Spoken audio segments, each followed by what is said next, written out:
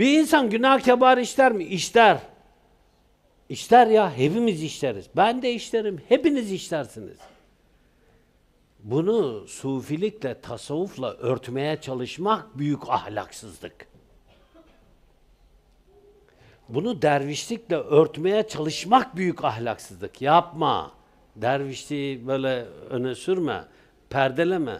De ki içtim ben ya. Gel seveyim seni ya. Yok. Hem içecek hem biz haram işlemiş olsak bize söylerler. Kimsin sen ya? Bu lafı söyleyenlere söylüyorum. Sen kimsin kardeşim?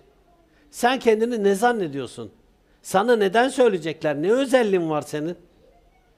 Sen şehliye mi koşuyorsun? Seçilmiş misin sen sana söyleyecekler? Sen seçilmişsen, sen veliliğe koşuyorsan senin çıtını dahi söylerler yapma diye. Zaten söyleseler ödün kopar senin. Elin karısına, kızına, ele bir, bir şey yapacağım, zarar vereceğim diye. Ödün kopar söyleseler. Tiril tiril titrersin. Öyle bir şey olmuş olsan zaten birisine yan gözden baksan bütün sabaha kadar senin gözün patlar ağrıdan. Sen oğlum bana söylerler diyorsun. Söylemezler. Miden patlar. Doktora gidersin. Midene ilaç bulamazsın.